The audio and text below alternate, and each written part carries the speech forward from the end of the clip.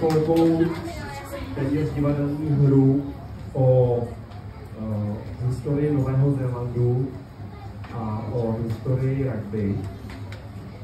Uh, bohužel nás postihly nějaké nemoci. Někteří hlavní herci nám bohužel nedorazili bez omluvy, ani bez by se nezaškrtli. Takže, ale tam to nevadí, my to se hrajeme i tak, protože jsme hodně šikovní. Uh, ta hra začne, jsou to takové živé obrazy. Já tady už roli vypravěče a tady naši herci vám budou hrát. Proč to Nové Zélandu? Protože si myslíme, že je zraky velice se a se hrál velkou roli popularizace. Takže první teorie o objevení Nového Zélandu jsou obestřeny celou řadou mýtů. A za vůbec prvního člověka, který kdy objevil území Nového Zélandu, je v mnoha prvotních maorských tradicích označován legendární mořeplavec jménem Kupé. Je to ten s těmi dlouhými vlasy, tady v kánoji. Podle legendy se náčelník Kupé vypravil na své kánoji přes oceán, někde z oblasti Tahiti a plul a plul, plujte hoši, pomalu, plujte, a pluli, pluli celých 4 tisíce kilometrů. Takové je to kánoi, můžete si to představit. A po těch 4 tisících kilometrech dopluli k ostrovu, který se jim velice líbil, a protože z dálky nad tím ostrovem se znášel oblak bílého kouře, který je navigoval, tak eh, pojmenovali tu zemi zemi dlouhého bílého oblaku v maorštině Aotearoa. Aotearoa, to je Nový Zéland, tak mu říkají Novozélandiané. Takže tady náčelník úplně se tam uh, usadil.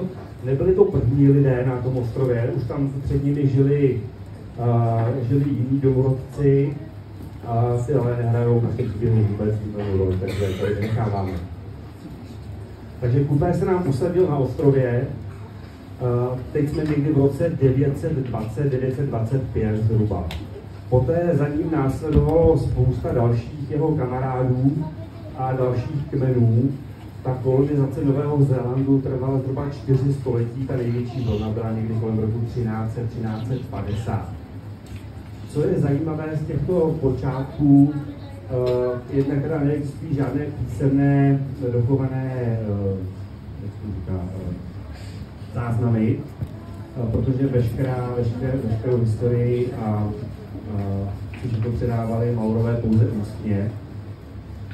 Ale třeba jedna z zajímavostí je, že ačkoliv Maurové nebyli kanibalové, tak byli časem donuceni se uchylit ke kanibalismu, protože na Novém Zélandu, když tam připluli, tak žil uh, legendární pták Moa, což je takový obrovský štros, který je asi třikrát větší než štros.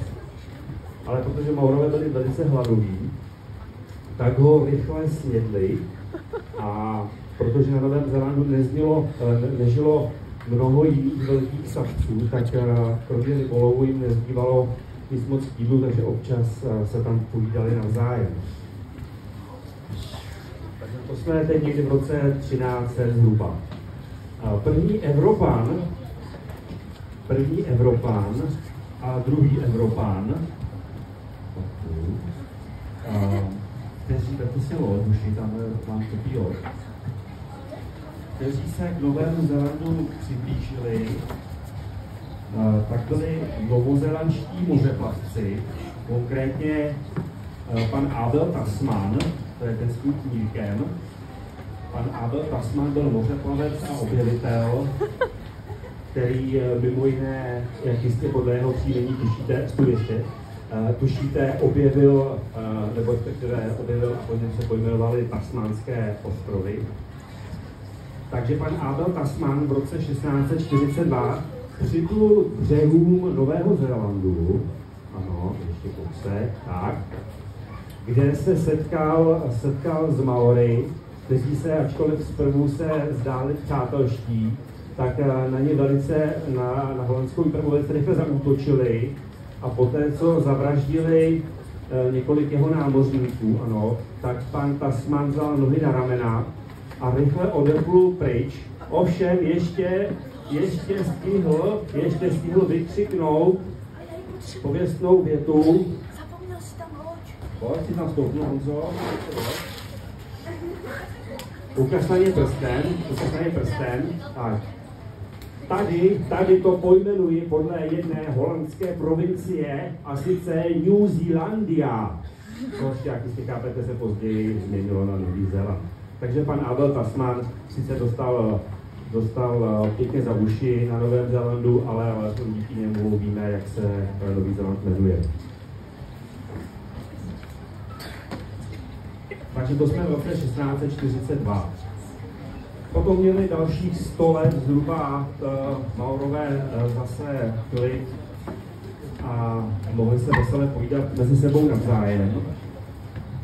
Až v roce 1769, poprosím červené kabáty, aby se připravili. Červené kabáty, cože? Ty nejseš červený. Jsi černý.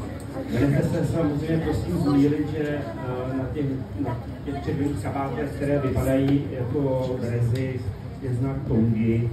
Tonga je britská kolonie a to jsou klasičtí, klasičtí britští vojáci v červených kabátech. Takže eh, je rok 1769 a k Novému Zélandu připlouvá legendární kapitán James Cook. Ano, je to opravdu on, legendární kapitán James Cook, který byl velký mořeplavec, velký objevitel, vědec.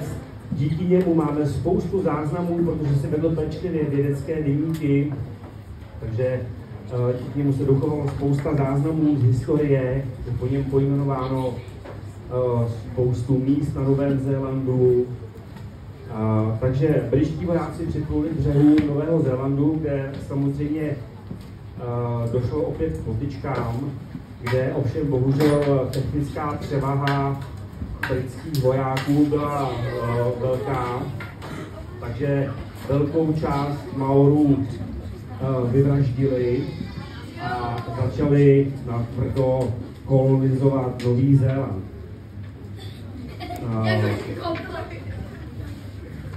Což bohužel zpočátku vedlo k tomu, že samozřejmě jim zabírali půdu, docházelo tam k častým uh, bitvám a válkám. Uh, jsou dokonce ty války považovány za jedny z nejkrvavějších vůbec v dějinách celé oceánie.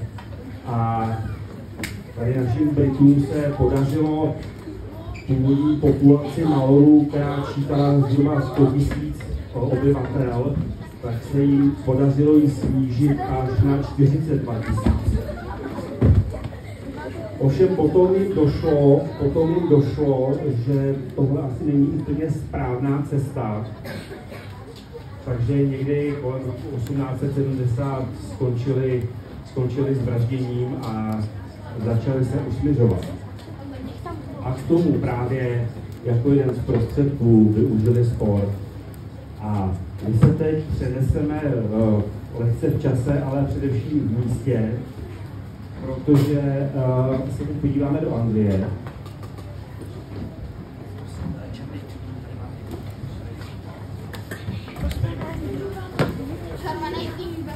Představte si, teď jsme v Anglii, je rok 1823 a jsme v takovém malém městě, které mi univerzita, univerzita je tam od roku 1567, nebudu vám záměrně říkat, jak se to město jmenuje. Chlapci odpoledne po škole na hřišti, tak jako každý den, hrají fotbal. Mezi chlapci je, je i jeden z nich, který se na první pohled trošku nudí, ale on hlavně přemýšlí a dostává skvělý nápad. Už ho dostali, ten skvělý nápad, určitě. Ano, to je on, ten zrzavý chlapec. Ano, to je ono, to je, já bych zatleskal, prosím vás, zatleskejte. To je historický okamžik. kdy přesně takto se to stalo. V anglickém městečku, které se jmenuje Rugby, a je to tak, že nejdřív bylo to město a jmenovalo se rugby a až potom vznikl sport, který pojmenovali rugby právě podle toho města. A ten chlapec se jmenuje William Beth Ellis, bylo mu 17 let a prostě takhle jednou odpoledne při tom fotbale už to nebavilo, vzal ten do ruky, přeběhl celé hřiště, položil ho do brány a kluci na to koukali, koukejte, koukali a říkali si, co? To je dobrý, to je dobrý, to je dobrý, ale to budeme takhle hrát. No a začali, začali takhle hrát. Nejdřív to, to brali jako, že to je nějaký druh fotbalu, až později, v roce 1845 byly sepsaný první pravidla rugby a rugby se vyčlenilo jako opravdu samostatný sport. Nicméně, samozřejmě s tím kulatým míčem to nebylo úplně ideální. Nehledě na to, že míče se tenkrát vyráběly z hovězí kůže a ten výtřek, ta, ta duše, se vyráběla z močového měchýře prasete což mělo několik komplikací. Ta první byla, že se nedal zaručit a garantovat eh, tvar toho míče, protože ten tvar byl daný tím rozměrem a velikostí toho močového měchýře. A druhý problém byl ten, že ten, močo, že ten močový měchýř, ta duše se nastupovala ústy, což eh, často vedlo k různým onemocněním. Takže uh, potom, když uh, se z Indie dovážet pryč důl, tak bylo chvíle. Ale my teď je tady jeden důležitý moment.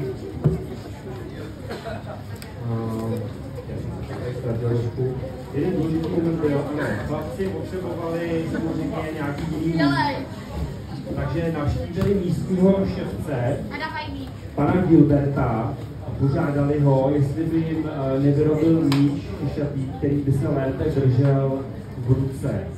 Pan Gilbert sice už byl starý, ale měl děti rád a rád pro ně tento míč vyrobil.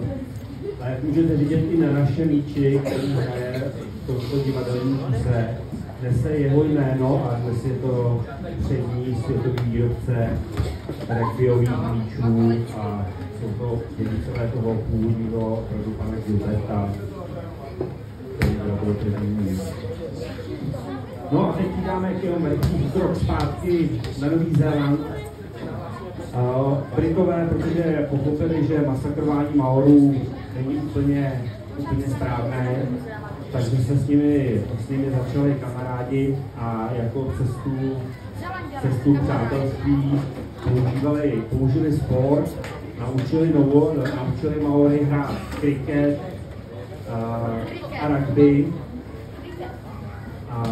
se, se skamarádili a zblížili. Kamarádi. Tak, tak se kamarádi. Takhle se skamarádili.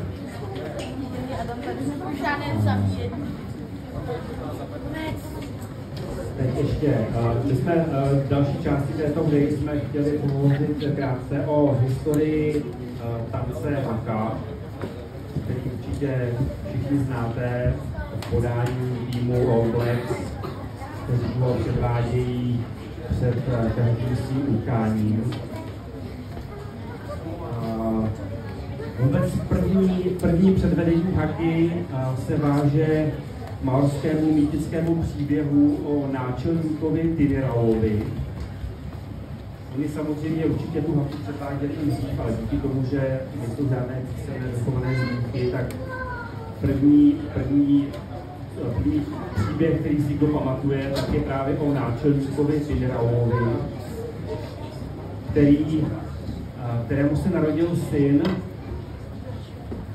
jedné z jeho žen a náčelník Fidrau samozřejmě chtěl, chtěl své, své nově narozené dítě nechat pokřít. Ale protože u něj na ostrově nebyl, nebyl žádný kněz, tak uh, poslal,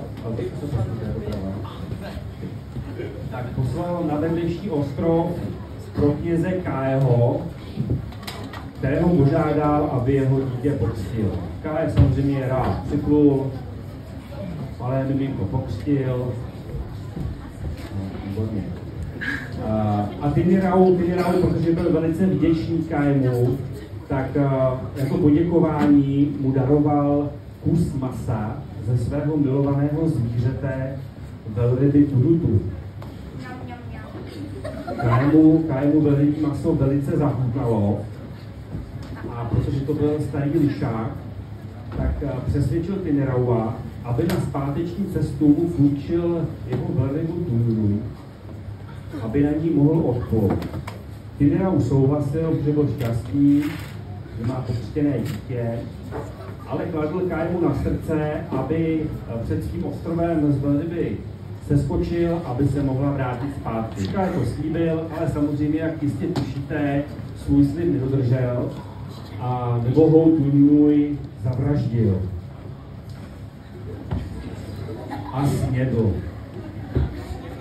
A vůně spečeného masa byla tak silná, že jí vítr donesl až Vinraovi, který samozřejmě okamžitě pochopil, co se stalo za tragédii. A chtěl Kájeho potrestat, protože se nemohl sám vydat na jeho ostrov, protože by byl okamžitě odhalen, tak využil lsti, požádal své ženy, aby dopluli, dopluli ke Kájemu na ostrov, tam, aby ho našli a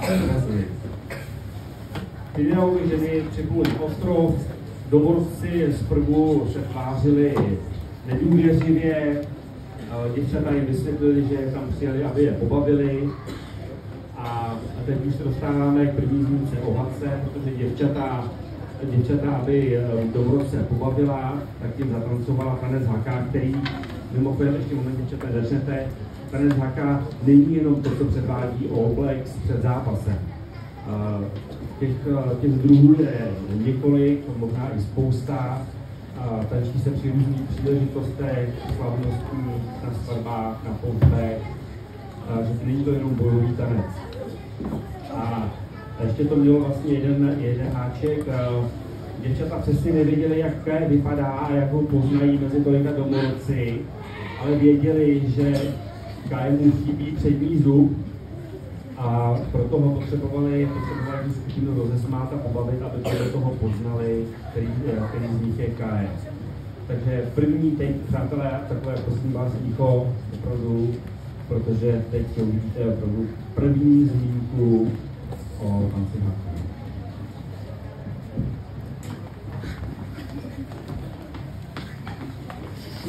Aha, tak to by bylo něco z TikToku, ale děkujeme. Chlapce, chlapce to pobavilo, usmáli se. Usmáli se, děvčata, děvčata okamžitě poznali, který z nich je Kaj. Ano, to je on, přesně tak. Ukažme si.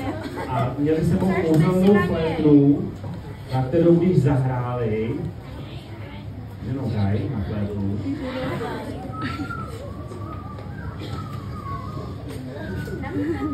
tak všichni usnuli. Neprodloužený spánku. Děvčata popadly Kajeho,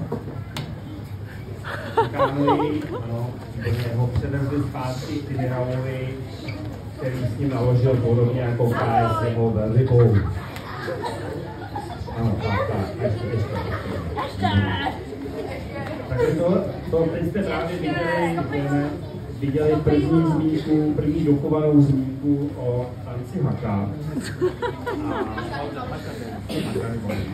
A, a já vás teď poprosím tady uh, milé mé hráče, aby se uh, připravili, protože my jsme samozřejmě uh, zkusili